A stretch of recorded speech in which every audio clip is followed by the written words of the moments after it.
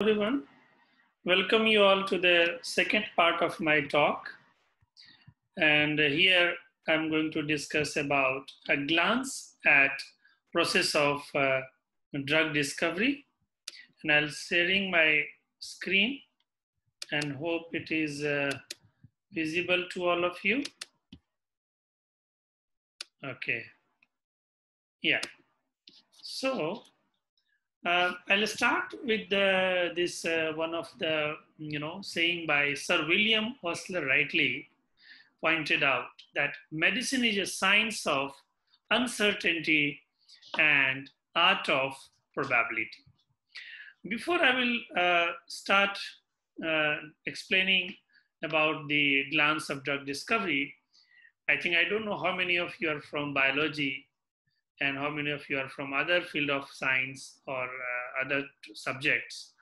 But I would like to tell you just few things about basic component before we enter to drug discovery uh, about the human genome. Everybody knows that in 2003, all the human genome, I mean, human genome project was completed and few important, uh, you know, take home message was like um, human genome consists of 3 billion base pairs. It contains approximately 25,000 unique genes.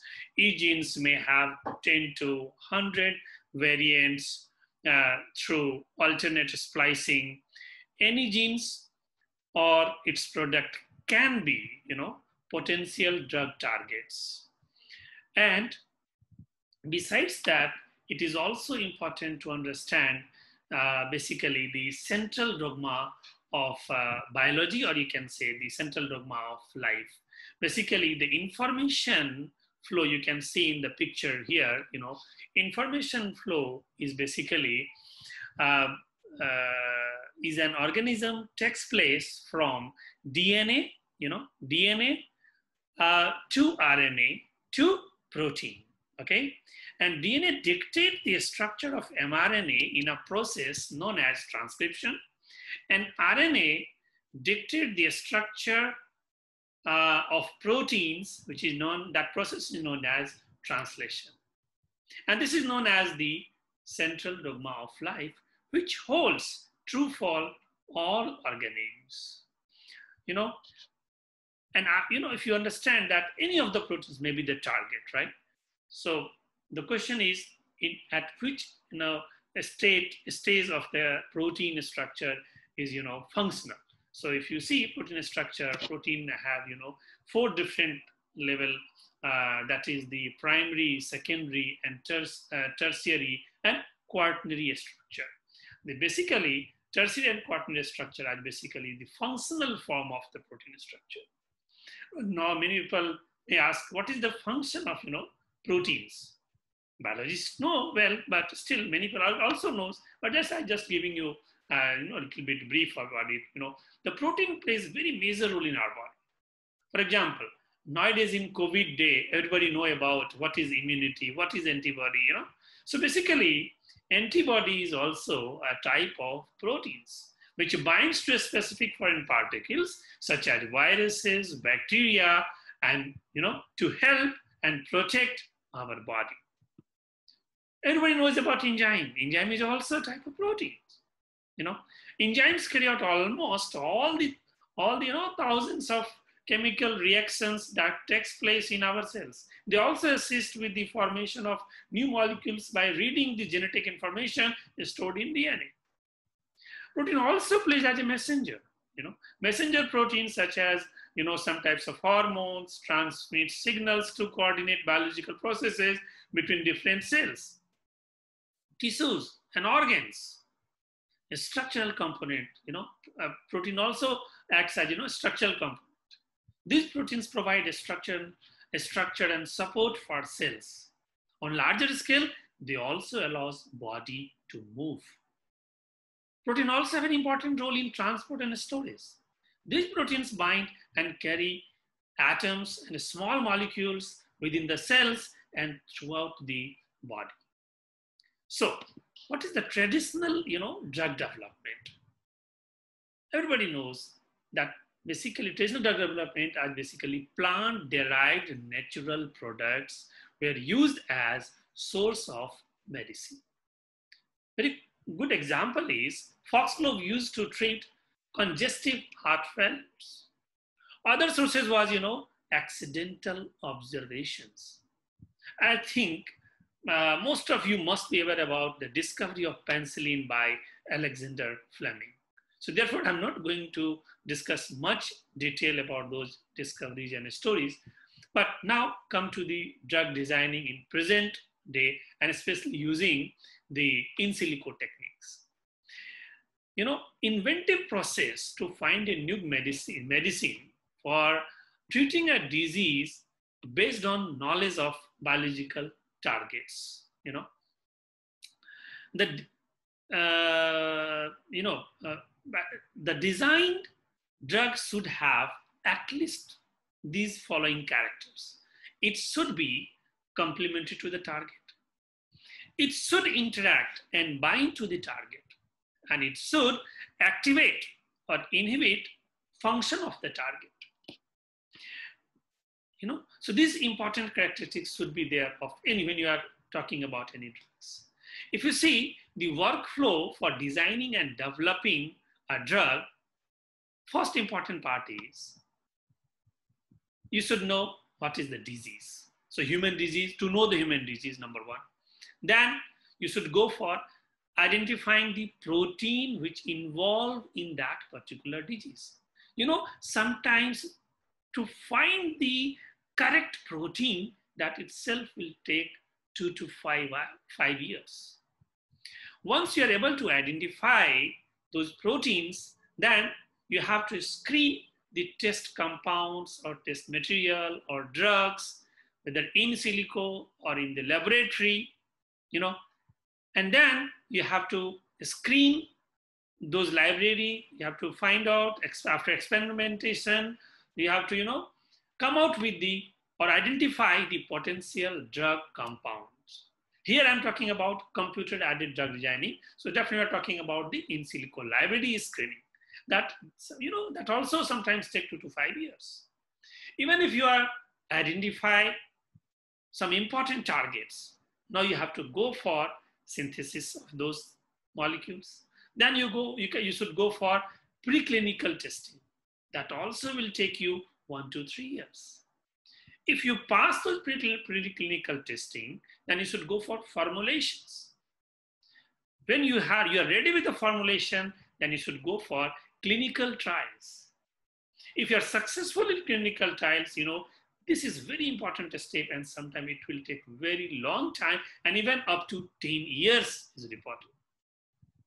And then after, you know, passing this phase, then you go for FDA approval that again take two to three years.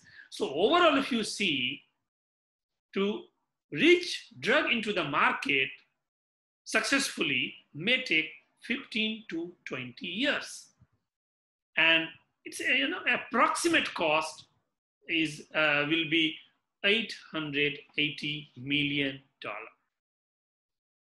Amazing. So, but with the help of computer-aided drug design or in silico drug designing, the cost also reduces and it is also time efficient. You know, rapidly growing areas in the field of drug discovery, explosion of bioinformatics, chemoinformatics, you know, you know, ge uh, genome, uh, genomics, proteomics, structural information has, you know, added in growth of this field. In in silico drug design, uses computational methods and resources to facilitate future drug-led discovery. This provides time-efficient and cost-effective method of drug discovery. If you see the complete pipeline, so I have already told you, like when you talk about disease-related genomics or uh, target identification, here is you know requirement of bioinformatician, bioinformatics, reverse docking, protein structure prediction, you know, when talk about target validation, you have the target drugability, you know, tool compound design, talk about lead discovery, again, library design, docking, docking scoring, de novo design, pharmacophore, you know, target flexibility. You talk about lead optimization, you have to know, you should know the QSAR, 3D QSAR, the structure-based optimization, in silico admit prediction. you know, all these tools and techniques require some software, right? So here again, there is a avenues. So you should design your own tools and techniques to, you know, make it uh, much easier and, you know, more, uh, you know, accurate, you know, predictions. And uh, basically, if you pass all, the, I, I have told you, so when you go for the screening, there is two, you know, two type of screen, virtual screen. Virtual screen two type. One is either you should go ligand based or you should go structure based, you know, uh, uh, this virtual screening. So if you go for the, uh, what, what is basically, sometimes people ask, what is the ligand based drug design? So ligand based drug design is an approach used in the absence of receptors, 3D information. And it relies on the knowledge of molecules that bind to biological targets, target biological target of interest. 3D quantitative structure activity relationship, in short we say 3D QSAR, and pharmacophore modeling are the most important and widely used tool in ligand-based drug design. And they can provide predictive models suitable for lead identification and optimization. Second type is structure-based uh, virtual screening. Here, structure-based drug design is an approach where uh, structured information of the drug targets for the development of its inhibitor. Receptor structure is a prerequisite for this method.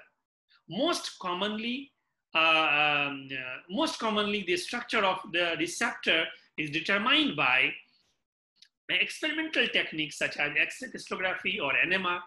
If the structure of the protein drug target is not available, protein structure can be predicted by, you know, computational methods like threading and homology modeling. Threading, you know, also called sometimes fold, is a modeling approach used to model proteins that do not have homologous proteins which known with known structure, you know. And during threading, a given amino acid sequence is searched for compatibility with a structure in database of known folds. The structure of the query protein is built from these folds and homology modeling is also known as you know, comparative. Is an approach that relies on a clear relationship or homology between sequence of the target protein and at least one known structure. So, you know, after that, drug like lead compound, toxicity, and ADME, you know, techniques and again re-ranking all those you know the uh, screened molecules and then you can go you can go for compound selection and then you can go for you know in vitro assays. And after that you can go for you know uh, the other steps what i have already told you. Although it is repetition but i should say again like i told you disease selection is very important. First step of you know uh, when you start designing any molecules, first important is to select disease of the interest. Then determine biochemical basis of the disease. Then study exact steps in the pathway involved in the normal and altered disease states. The next step is to elucidate the regulatory molecules involved in regulation of the pathway. Then the target identification and selection. You know, once the target in the biochemical process, uh, process has been selected, one would retrieve 3D structure of the target molecules from protein uh, PDB sites. Then, you know, uh, downloaded from the protein database, data bank, categories of this target, you know, there are different categories. Enzymes, receptors, other proteins, nucleic acids, you know, so I have already explained you what is the ligand based, what is the structure based. So I'm skipping those slides, or you can just I'll mention one line like uh, I told you the ligand is a molecules that has ability to bind and form complexes with other biomolecules in order to perform biological processes. Example here is acetozolamide, uh, diuretic drugs. You can see in the, you know, here you can see in uh, slides, the process of selection of ligand is known as lead identification. Screening for natural products, semi-synthetic or synthetic compound library is carried out to the screen for lead compounds. And then comes the, you know, target that will going to bind with the ligands and they will form the complex, right? So this is very important. And then whether the binding is perfect or not, you know, uh, so how to, you know, evaluate the binding, uh, you know, score. So for that, and uh, to, to, to have, you know, better uh, confidence level, you know, so you have to go for the molecular simulation. Simulation means imitation, you know, means the imitation of the situation, right? When drug molecules interact with the target, how, you know, what are the parameters, how they will behave, how it will react. So molecular simulation means capturing the behavior of the proteins or the biomolecules in their full atomic details and at you know very high resolution. Application of the molecular simulations are, you know, I'm giving you three points here, deciphering the functional mechanism of the protein biomolecules, uncovering the structure basis of the disease, and designing the optimization of small molecules, peptides, or proteins. So ADME properties is important analysis and predict this ADME analysis plays a major role in drug designing because these properties are crucial for success of the drugs in uh, clinical phases. You know, nowadays ADME analysis is performed in you know early phases of the drug development to remove compound with poor ADME properties. But you know, I have told you like very important and uh, application of the uh, you know CAD, but there are limitations. Like biological system possesses flexibility and, gov- and are governed by you know several significant parameters. Similarly, proteins and ligands are highly flexible in the solution due to formation of the different conformation. Owing to the great complexity, you know, uh, it is not possible to copy and simulate an entire real biological system on a computer system. But still, simulation is, you know, great help. Right? So this I have already discussed. I'm skipping these slides. And, but yeah, just here I'm just mentioning, uh, you know, each and every step you can see whether identifying the disease, isolating the proteins, or finding the drugs, or preclinical testing. In between them, you can see find the error and you can see, find the different area where we need to design and develop new tools to analyze those data, predict these uh, you know results better form, you know, like genomics, proteomics, bioinformatics, high throughput screening, virtual screening, every, although there are a lot of tools and techniques are available, but still there is a scope of improvement and come out with new tools and techniques. So drug designing, uh, you know, uh, and uh, development is multidisciplinary, you know, process and uh, complex process. Modern conventional drug designing approach makes this process, I told you, very, you know, almost 50% time as well as cost. Identification of the new, safe, effective drug requires proper integration of new promises techniques and strategies. So it's the end of my second part. I will, uh, in the third part, I'll discuss about some of the examples uh, from um, our own lab. Thank you.